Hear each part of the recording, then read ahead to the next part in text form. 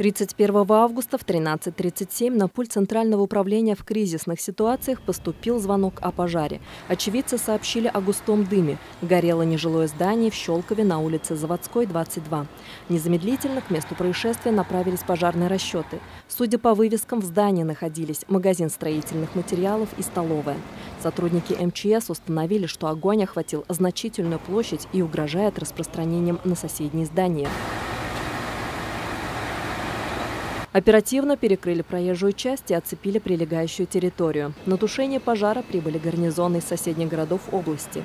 В ликвидации огня участвовали более 100 человек и 35 единиц техники.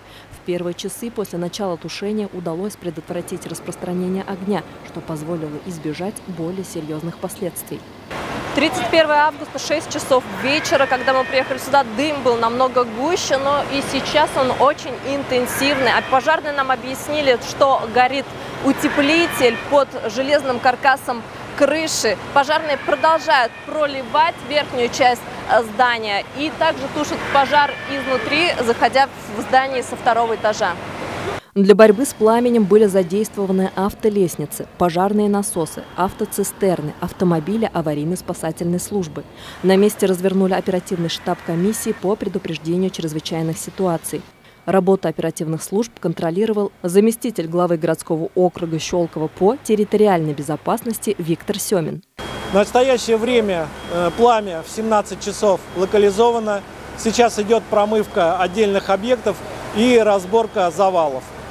Предварительно пострадавших нет, погибших нет. А, дальнейшее установление причины пожара будет выяснено пожарным надзором. Пожару присвоили третий уровень сложности. Для устранения повторного возгорания отдельных участков здания огнеборцы продолжали проливку конструкций еще несколько часов. Оперативные службы дежурили на объекте до утра следующего дня. Причины пожара устанавливаются, ведется расследование. Галия Вахитова, Владислав Реус, Щелковское телевидение.